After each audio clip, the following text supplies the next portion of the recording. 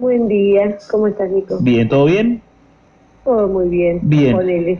Bueno, eh, no, Maru, la, la idea era un poco conocer la, la, la postura de ustedes como gremio sobre esta situación, ¿no? Que se dio a conocer en los últimos días, ¿no? Con esta denuncia de un grupo de padres a una docente eh, del Jardín 904. Queríamos conocer un poco qué posición tienen ustedes como, como sindicato.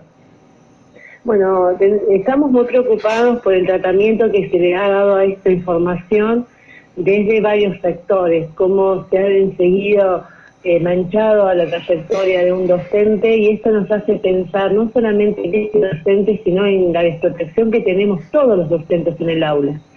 Eh, estamos cansados como breves de observar situaciones de renuncia de docentes ante denuncias falsas y ante denuncias descontextualizadas y esto nos preocupa y nos, y nos pone a pensar eh, qué está- le estamos pidiendo al docente como sociedad.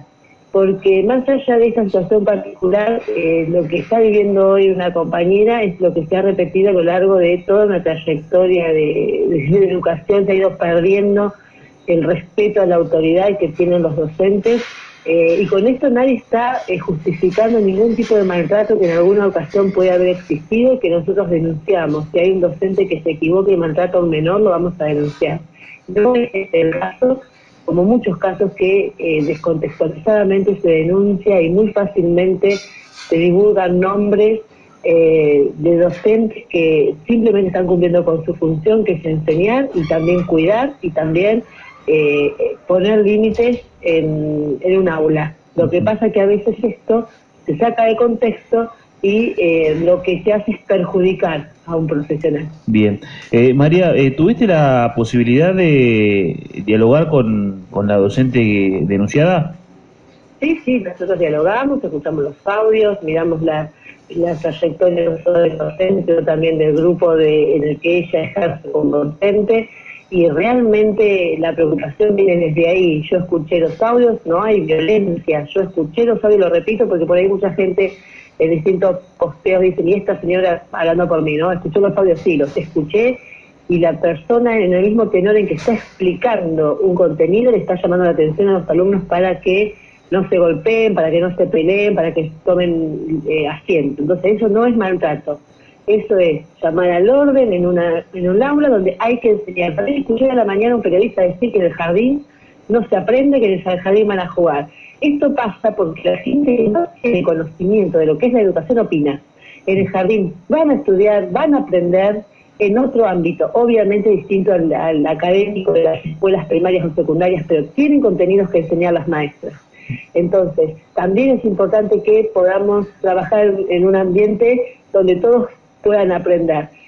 Eh, y cuando tenés un grupo como el, el que está tratándose en este caso, donde había muchos problemas, y hay muchos problemas de conducta, eso no va a terminar acá, pero el, grupo, el problema del grupo va a seguir. Claro. Eh, muchos problemas de conducta, muchos eh, chicos que sin aceptar límites, de que insultan al maestro, que, ¿no? que se pelean entre ellos, que desafían los límites, porque aún con cuatro años tiene que haber una organización, pasan estas cosas. Cuando se le quiere llamar al orden, a los padres que en vez de acompañar al docente, lo denuncian por maltrato, cuando le dice al, al niño sentate, bueno, basta, me parece que estamos realmente totalmente equivocados. Claro, creo, Y creo, que, creo que la- ya pasa por una cuestión, ya un, un tema eh, eh, eh, social, ¿no? Porque hace hace tiempo que Sí. ya eh, venimos con esto, ¿no? Totalmente, eso es un tema social que no se está aceptando que alguien en un aula ponga un límite y eso es una locura, Nico, porque nosotros estamos hablando de que estamos trabajando con 19, 20, 30 chicos en un salón que necesito elevarle el tono de voz y si la maestra le estaba gritando, decime vos cuáles son los decibeles que tenemos que manejar los docentes. Claro. ¿Dónde está escrito? Alguien me dijo, y no es muy amorosa la maestra, ¿dónde está escrito que tengo que ser amorosa? Yo tengo que ser cordial, tengo que enseñar, tengo que trabajar desde el respeto, no ser amorosa y tratar de, minimizar toda la situación que pasan los chicos. Y esta docente ya había pedido per- em, a las madres, ya había, había pedido colaboración, porque el grupo realmente es muy difícil. Y este grupo ya ha tenido dificultades en otro momento. Entonces, a mí me parece que en vez enseguida salir a los medios y dar los nombres, hay que acercarse a la escuela y tratar de colaborar cuando el docente pide ayuda. Bien. Entonces, me parece que si eso no ocurre vamos a tener graves problemas en educación. María, ¿cómo, ¿cómo está hoy la, la, docente? Seguramente no, no está pasando un buen momento por esta situación, incluso por este tema también que en algún lugar se, se difundió su nombre cuando se lo tendría que haber preservado, digo, por una cuestión lógica. En Bragado somos un pueblo chico, nos conocemos todos y me, y me parece que, que también un poco la el momento debe estar pasado, que debe estar pasando esta, esta docente es, por eso, ¿no? Por, por toda la repercusión que se ha, se ha tenido. ¿Qué te parece en una localidad como la nuestra, que hay un montón de gente opinando sobre una situación que desconoce, que te acusan de violenta con niños de cuatro años, cuando no es así, no la estás pasando bien? Y sobre todo porque hay familias envueltas en el docente. Entonces todo esto se está tomando de, una banalidad y todo el mundo opinando que preocupa sinceramente. Sí, hemos, hemos tenido contacto, hay mucha angustia, pero también, y algo que por ahí nos deja bastante tranquilos, es que estamos recibiendo muchos mensajes de apoyo y de, ánimo para el docente y para y en los docentes en general alertas de sentirnos que cualquiera de nosotros puede ser objeto de esta clase de denuncias sin sentido. Entonces hay eh, un tema de, volver a pensar un poquito a nuestros compañeros y de, ponernos en lugar de ellos, que cualquier docente o cualquier profesional hoy puede ser acusado injustamente. Entonces, a, yo, a mí me gustaría que desde los medios de comunicación y desde las autoridades piensen, y piensen antes de difundir este tipo de noticias y antes de darle autoridad a las familias, primero que investiguen cómo son las cosas y que después se actúe como tiene que actuar. Porque es como yo también pienso, Nico, nosotros los docentes a, diario nos enfrentamos a situaciones de maltrato y vulnerabilidad de derechos de nuestros alumnos por parte de los padres y sus familias, incluso en esta comunidad también. Pero nosotros no salimos a los medios a dar nombre de las familias, ¿eh? No salimos a los medios a culparlos porque no la alimentan a sus hijos, porque los maltratan, hasta ha habido abusos de menores. No salimos a los medios a dar nombre. Nosotros establecemos un protocolo de protección para el alumno y su familia.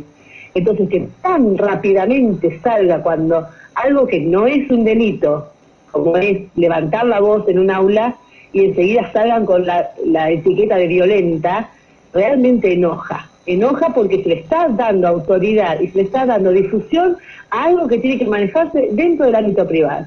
Eh, la última y no te robo más tiempo. El procedimiento que se aplicó desde eh, las autoridades de educación con la docente esto de la licencia hasta que se determine, eh, bueno, eh, las condiciones y demás, ¿es el correcto, digamos, ustedes eh, acompañan esto, digo, más allá de que si están de acuerdo o no con todo lo que pasó, digamos, el procedimiento que se aplica es correcto? Sí, lo establece el estatuto. Por un lado, de protección al docente, que de protección no tiene nada, porque ya salió por todos lados. Establece el estatuto, de, se, se aplica el artículo 114H, para proteger al docente y para atenderlo acorde a lo que las denuncias fueron establecidas. Pero protección no hay porque ya salió su nombre por todos lados, se expuso su situación por todos lados. Pero nos parece correcto para que, por otro lado, para llevar la tranquilidad a ella también, porque no hubiese sido un buen lugar donde se dejar en este tiempo y después se verá. Lo que sí, eh, también yo escuché que los padres decían que no tuvieron respuestas y yo quiero decir que desde la que Patrulla Digital desde el jardín les dio respuesta porque se los atendió siempre a los padres, se los escuchó. Ellos se le ofrecieron alternativas para que confíen en el jardín, pero ellos lo único que quieren es la institución del docente y me parece grave que un grupo de padres pida que una persona se quede sin trabajo ante una evidencia que no es tal, no hay violencia. Bien. María, gracias como siempre, ¿eh? te agradezco. Gracias a vos, Nico.